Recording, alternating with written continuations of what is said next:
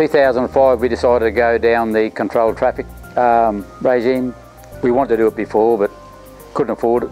Back then GPS was $47,000 um, but once we went down it after a year we, we realised we should have went long ago. Massive savings. Um, we're 1.8 wide row. You know, all our equipment is, um, tractors are on GPS, is zonal working. Um, it's just, yeah, it's definitely savings and I believe our uh, soil health has improved because of it. The lack of compaction on the um, on the on the um, the root zone. In the last couple of years, uh, just through uh, good um, fallow ground management, we've had a couple of blocks on on our couple of our farms that we have actually, actually haven't used any chemical.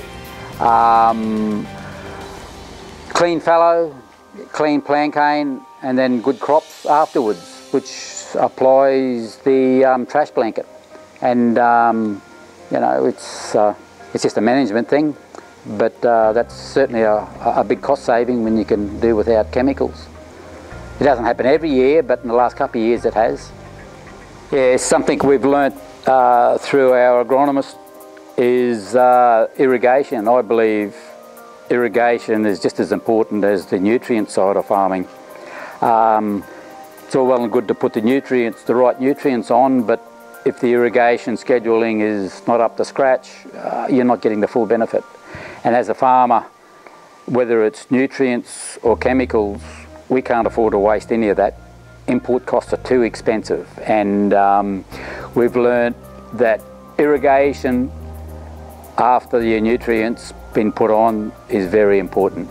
And we've learnt that we are irrigating harder from cut to Christmas, irrigating it harder now than what we used to because we're finding we're getting a better uptake and um, we believe our CCS has improved over and above the mill because of that um, bit of a uh, change in farming practices.